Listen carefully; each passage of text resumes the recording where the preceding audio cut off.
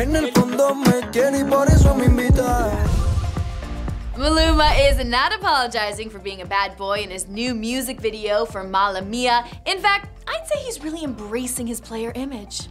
Me pasé de trago, mala mía.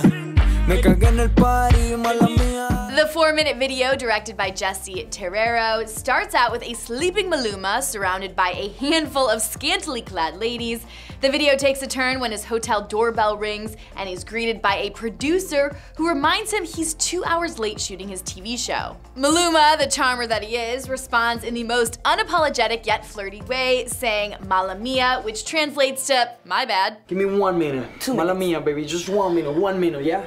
The new single is a reggaeton trap hybrid and it's a brand new song, one which is not included on his most recent album, Fame, which he just released in May. Aquí estoy yo, yo, mala mía, si te tumbe el plan con él. Are you guys to watch the entire video? You can head on over to billboard.com. Try not to swoon too hard because he looks like fire. I don't know why I just said fire, but it felt right. Until next time for Billboard News, I'm Chelsea Briggs.